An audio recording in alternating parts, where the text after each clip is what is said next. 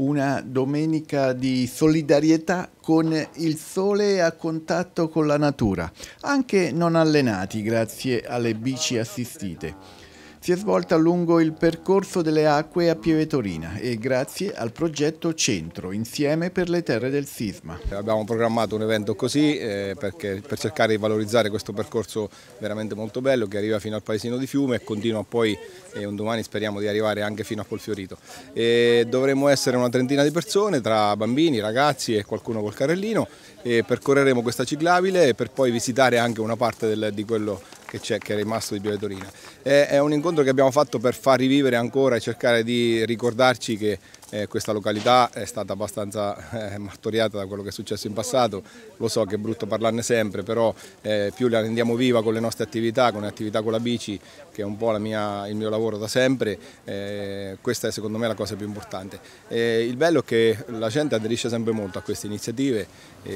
quindi ehm, far conoscere questa, questo bellissimo percorso eh, che è nato solo pochissimi anni fa, secondo me è una cosa importante per cercare di far vivere queste località. E poi ci fermeremo a mangiare qualcosa e assaporare qualche prodotto tipico nell'azienda Fronzi. Visiteremo il mulino di fiume, quindi è veramente un'iniziativa molto carina. Lo scopo è quello di promuovere i territori attraverso le associazioni del luogo, quindi coinvolgendo anche il Comune Pietorina e le altre associazioni del territorio. Abbiamo proposto a persone che vengono da fuori questi territori l'opportunità di conoscere, di scoprire le zone del terremoto che sono state colpite dal sisma e il CSV, in collaborazione anche con l'Avis, vuole aiutare a conoscere, a promuovere queste zone che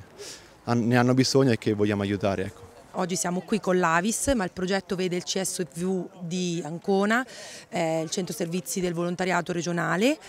ehm, come capofila, però coinvolge sia eh, Avis, Acli, Arci, eh, Unicam per la formazione e mh, mm, tantissime altre associazioni e realtà. Il progetto vuole proprio creare eh, nuove realtà aggregative, nuove associazioni in queste zone colpite duramente dal sisma che hanno bisogno di una spinta e di un aiuto per essere di nuovo al centro delle nostre attenzioni e delle nostre priorità. L'Avis di Pieve Torina è, diciamo, è stata subito pronta a questo richiamo, io veramente Siccome sono molto impegnato in altre cose l'ho saputo ultimamente, però ho fatto del tutto per essere presente alla partenza perché eh, non, posso, non, posso, pedalare. Sicuramente scopriranno dei bei, dei bei posti,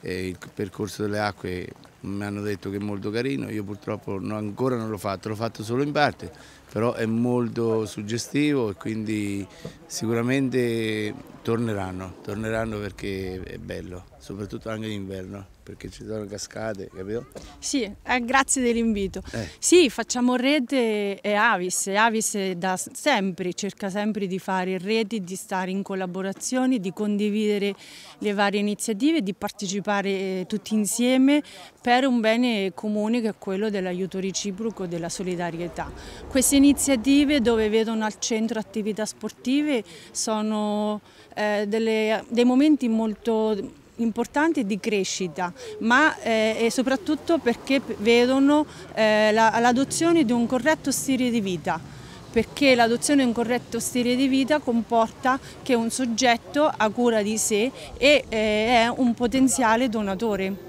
Le, le, bellezze paesaggistiche del territorio marchigiano, del territorio devastato dagli eventi sismici devono essere il eh, momento trainante per riuscire a far ricostruire questi territori. Oggi la ricostruzione è ferma, il super bonus non viene erogato ai cittadini, c'è un consumo esponenziale di farmaci dovuto alle depressioni e la popolazione è veramente ridotta allo stremo. Dopo sei anni all'interno di strutture emergenziali credo che queste persone meritino rispetto e soprattutto non deve essere devastata la dignità di un popolo dell'altro maceratese che rappresenta un, un momento dell'Italia vera, rappresenta ancora quelle radici, tra, quelle tradizioni che non debbono essere disperse. Allora io ho chiesto a tutti coloro che vengono qui a visitare il percorso delle acque, a queste iniziative, all'Avis, di aiutarci nel non farci dimenticare perché in questo momento siamo veramente in difficoltà.